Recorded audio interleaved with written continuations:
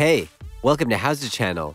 In today's video, we will show you how to disable on-screen display and media title on Video Start in VLC Media Player. Open VLC Player. Click on Tools at the top menu bar. Choose Preferences from the list. A new window will open. Go to Subtitles OSD at the top menu bar.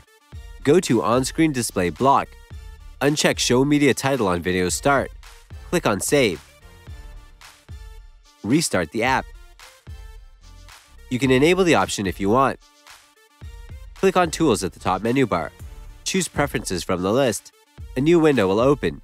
Go to Subtitles OSD at the top menu bar. Go to On-Screen Display block. Check Show Media Title on Video Start. Click on Save. Restart the app. That's it. Thanks for watching the video. Please like it and let us know if you used any of our tips and tricks. Subscribe to our channel we upload new tutorials every day. See ya!